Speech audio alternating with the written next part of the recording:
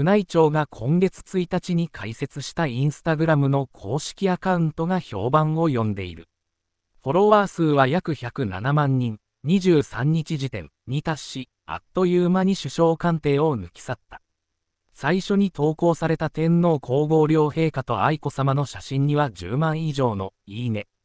が寄せられ、11日にはオランダ王室とも相互フォローになるなど、運用を開始した直後から前途洋々だ。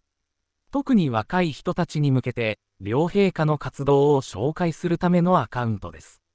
着任した特命全権大使が陛下に信任状を法定する、信任状法定式の準備風景や、皇居に咲く花を紹介した動画など、めったに見られない映像もアップされており、お堅い宮内庁にしてはうまく運営できているのではないでしょうか。皇室担当記者。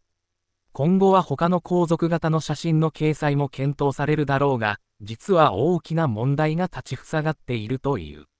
それは投稿への、いいね、の数が人気投票に見えてしまうことです。特に秋篠宮家に向ける国民の目は厳しく、ご夫妻のみならず佳子さまや悠仁さまのニュースが出るたびにネットでは批判が噴出している。宮内庁のアカウントではコメント欄は閉鎖されているものの、この状態のままで写真が投稿されれば、両家の人気が数字で可視化されかねません、同然。好スタートを切った公式アカウントとは対照的に、秋篠宮家は相変わらず前途多難のようだ。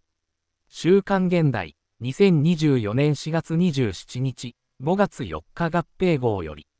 関連記事、悠仁さまの進学先に急浮上した意外な大学の実名、その裏にある典子様のお考え。では、国民からの注目がますます高まっている悠仁さまの進路について詳しく報じ